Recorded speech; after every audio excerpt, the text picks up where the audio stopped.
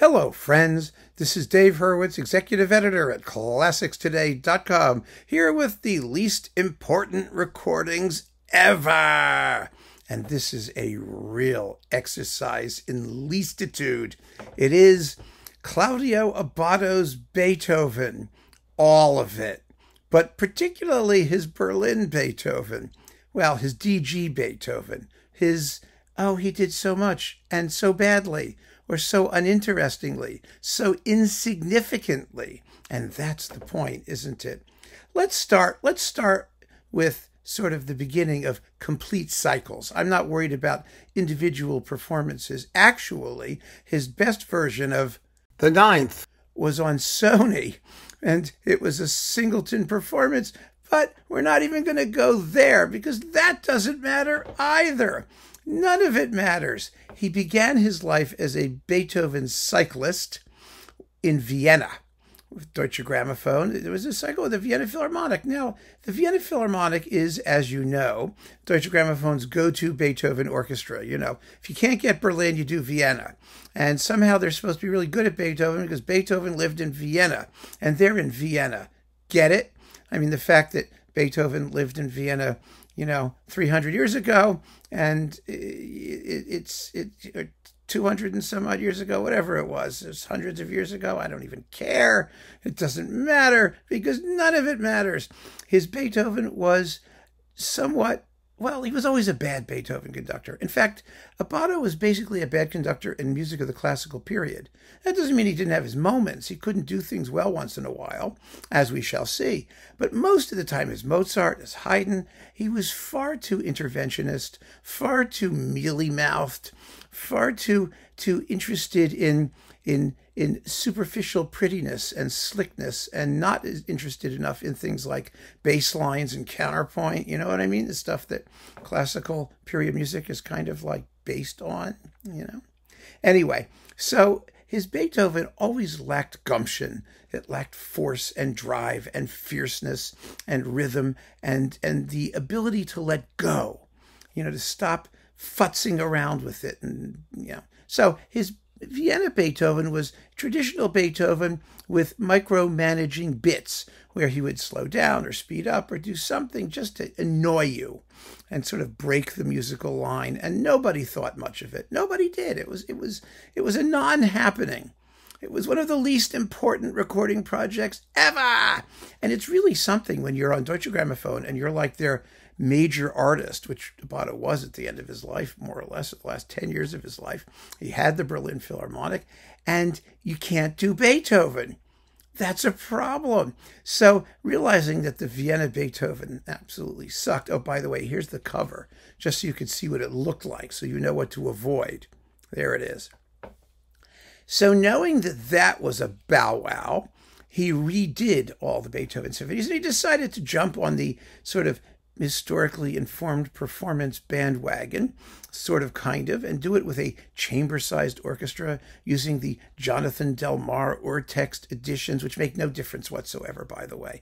All this Urtext bullshit is just a way to keep the music in print and to get mechanical fees for, for you know, for the publishers the, the, the fact that one thing is an Urtext and another thing isn't in these symphonies, which have been Urtextified about 50,000 times since they were first published, makes absolutely no difference whatsoever. It's a joke. It's a, it's a gimmick. It, you know, the differences from one performance to the next are far greater than whether or not an accent was placed over one note or a slur was over a violin line. I mean, it just, it just doesn't matter.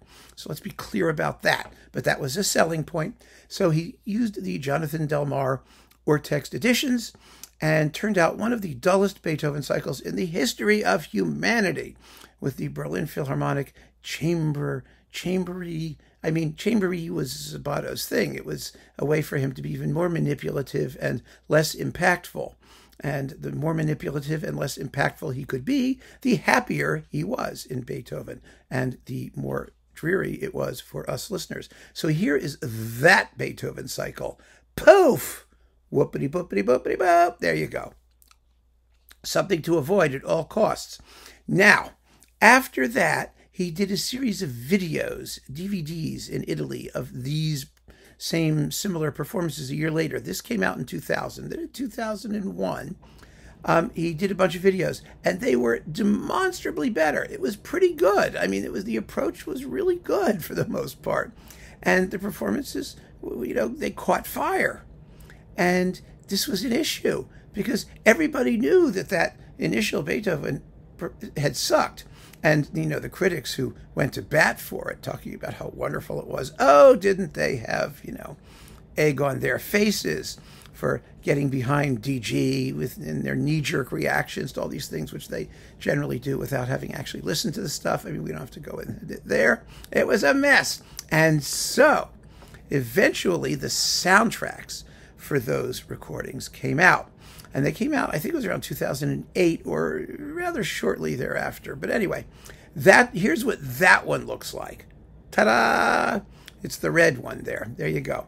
And to make matters even more complicated, after that came out at full price for about 10 minutes, Deutsche Grammophon released it at a super budgie price, cheapy, cheapy, cheapy, cheap, for like, I don't know, you know, they were practically paying us to take it off their hands.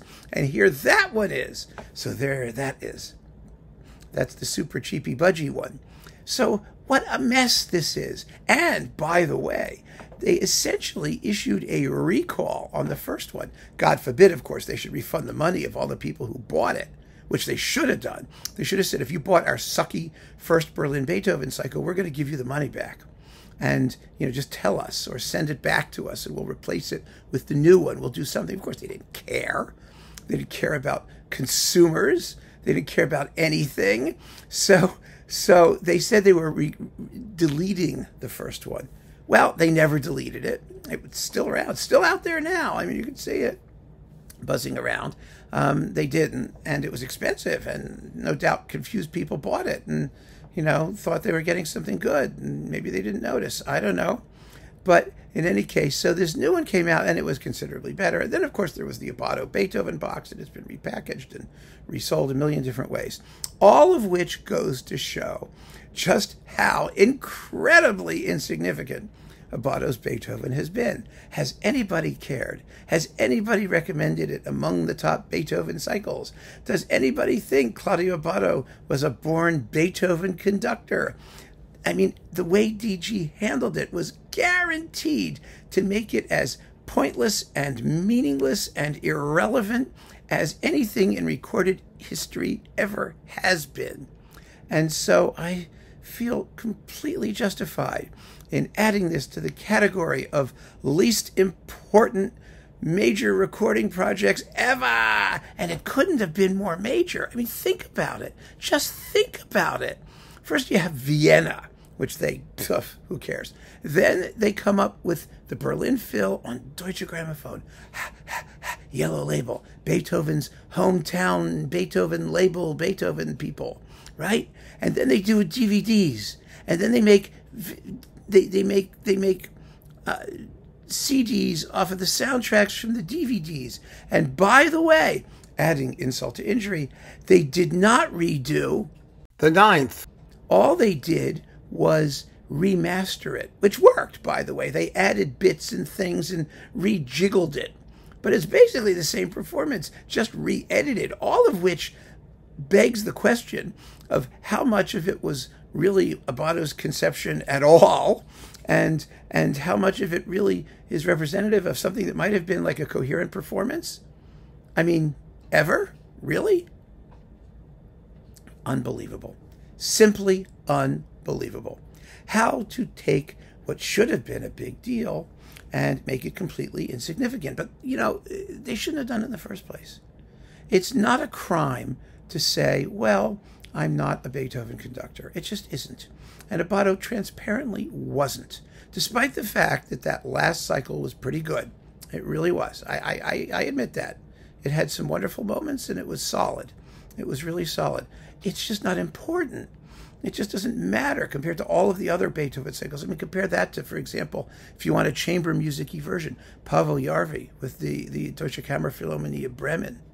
I mean, it's like a billion times more powerful and exciting. And it's the same basic approach. It really is. So, you know, we don't need this. It doesn't matter. It's irrelevant. It's totally unimportant. And the way DG did it and what they did to go through hoops for this man who had no concept of what he could and could not do um, and didn't care. Didn't care about marketing, didn't care about whether or not the interpretations were representative. He, just didn't care. He was living on his own planet. And now he's there permanently, actually, on his own planet. And I'm not saying that to be disrespectful. I'm just saying, you know, I mean, the huge Claudio Abbado box is out. You think that's important? Nah, absolutely not. So keep on listening, friends. Thanks for joining me. Take care.